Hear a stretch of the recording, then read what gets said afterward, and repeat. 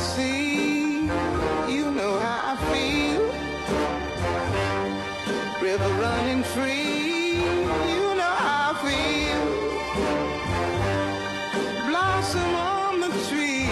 You know how. Nina Simone singing Feeling Good here on Democracy Now!, democracynow.org, The War and Peace Report. I'm Amy Goodman with Anjali Kamat. Sunday's landmark health care vote came after nearly four hours of debate on the House floor. In his closing remarks, House Minority Leader John Boehner summed up Republicans' opposition to the bill.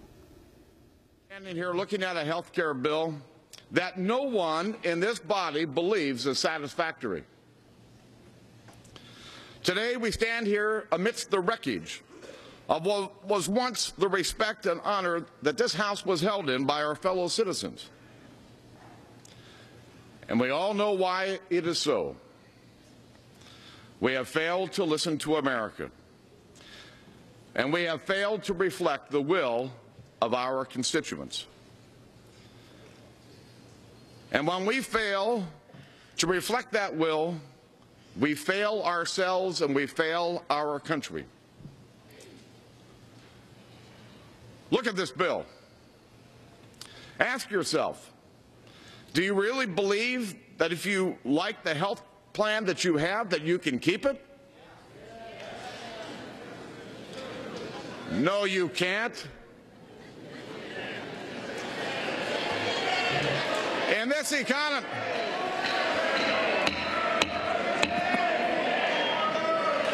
you Regular can't order, say Mr. that. In this economy, with this unemployment, with our desperate needs for jobs and economic growth, is this really the time to raise taxes, uh, to create bureaucracies, and burden every job creator in our land? The answer is no.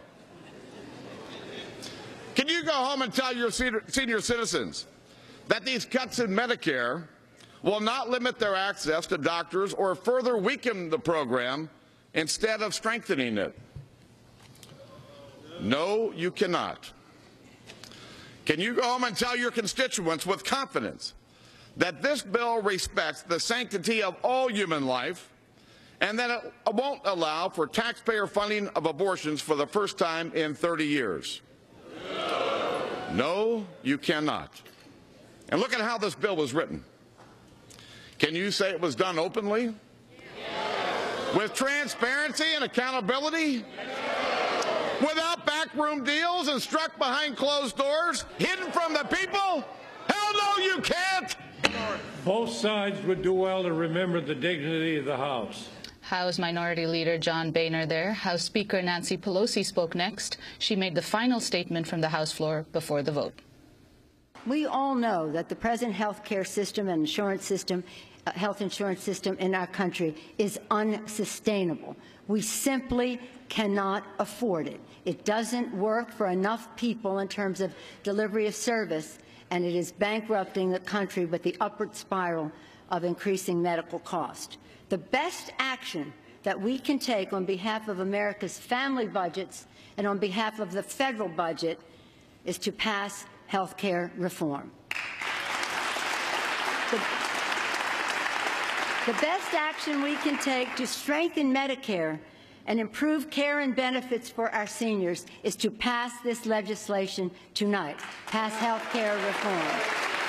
The best action we can do to create jobs and strengthen our economic security is pass health care reform. The best action we can take to keep America competitive, ignite innovation, again, unleash entrepreneurial spirit is to pass health care reform. Thank you.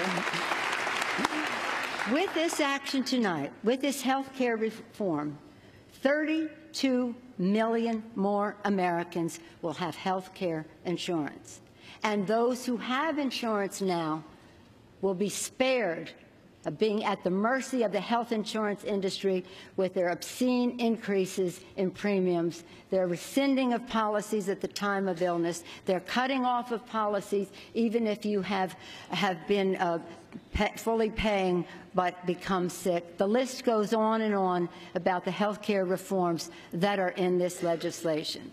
Insure 32 million more people, make it more affordable for the middle class, end insurance company discrimination on pre-existing conditions, improve care and benefits under Medicare, and extending Medicare solvency for almost a decade, creating a healthier America through prevention, through wellness and innovation, create 4 million jobs in the life of the bill, and on doing all of that by saving the taxpayer $1.3 trillion.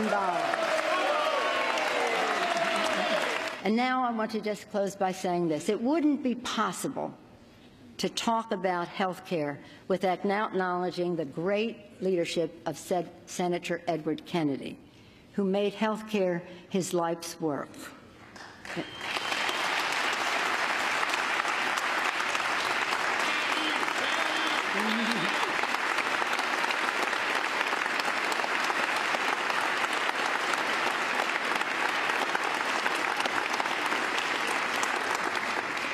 In a letter to President Obama before he passed away, he left the letter to be read after he died.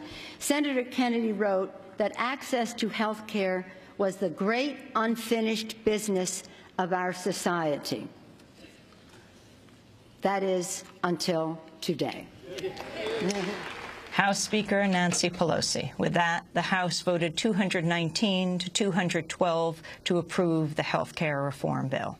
We'll have more on health care reform tomorrow on Democracy Now!